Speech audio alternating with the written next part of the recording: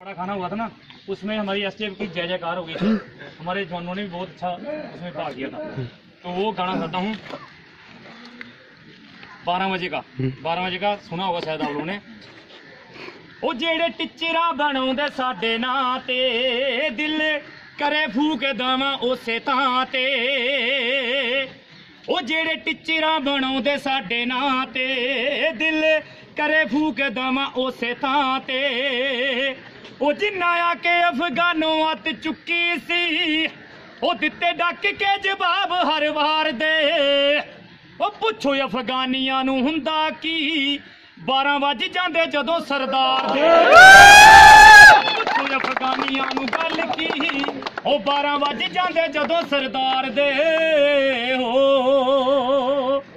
ਉਹ ਜਦੋਂ ਨਾਦਰ ਨੇ ਸਾਰੇ ਇੰਡੀਆ ਦੀ ਆ ਹੱਥ ਪਾਇਆ ਸੀ।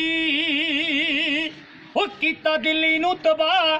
ਕੋਹੇ ਨੂਰ ਲੈ ਗਿਆ, ਨਾ ਕੋਈ ਡੱਕ ਪਾਇਆ ਸੀ, ਨਾ ਕੋਈ ਡੱਕ ਪਾਇਆ ਸੀ। ਉਹ ਗੱਲ ਕੰਨਾਂ ਤੱਕ ਪਹੁੰਚੀ ਸਿੰਘ ਸ਼ੇਰਾਂ ਦੇ। ਉਹ ਜਿਹੜੇ ਟੋਟੇ ਟੋਟੇ ਹੋ ਕੇ ਵੀ ਨਹੀਂ ਹਾਰਦੇ। ਉਹ ਪੁੱਛੋ ਅਫਗਾਨੀਆਂ ਨੂੰ ਹੁੰਦਾ ਕੀ? 12 ਵੱਜ ਜਾਂਦੇ ਜਦੋਂ ਸਰਦਾਰ ਦੇ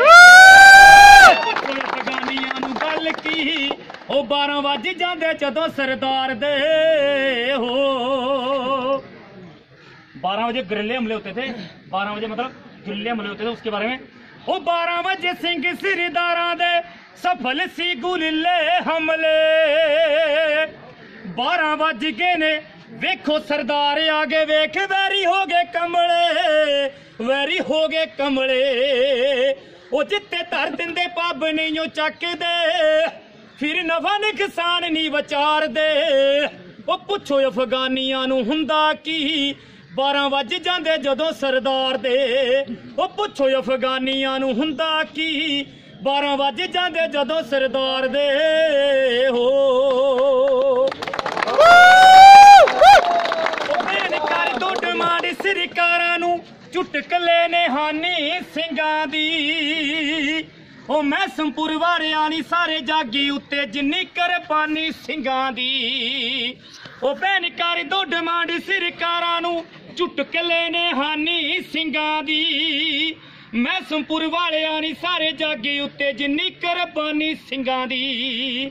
ਉਹ ਸੱਚ ਲਿਖਿਆ ਹੌਲਦਾਰ ਗੁਰਦਿਆਲ ਨੇ, ਇਸ ਕੌਮੀ ਉੱਤੇ ਹੱਥ ਕਰਤਾਰ ਦੇ।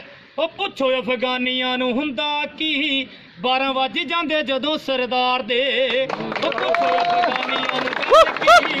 12 ਵੱਜ ਜਾਂਦੇ ਜਦੋਂ ਸਰਦਾਰ ਦੇ। ਵਾਹ ਵਾਹ।